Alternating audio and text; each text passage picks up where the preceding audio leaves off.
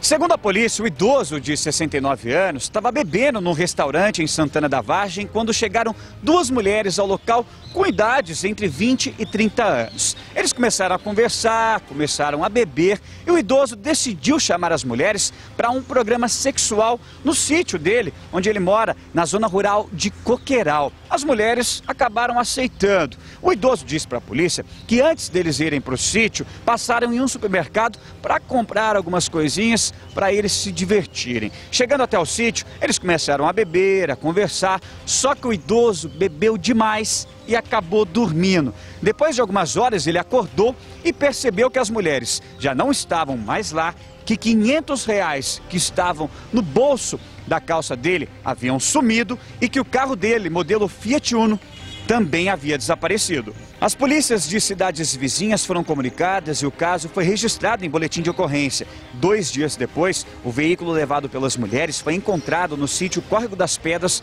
pela polícia de Três Pontas. O carro estava sem as rodas e os pneus do lado esquerdo. A Polícia Civil vai investigar o caso. Guto Moreira para o jornalismo da TV Alterosa.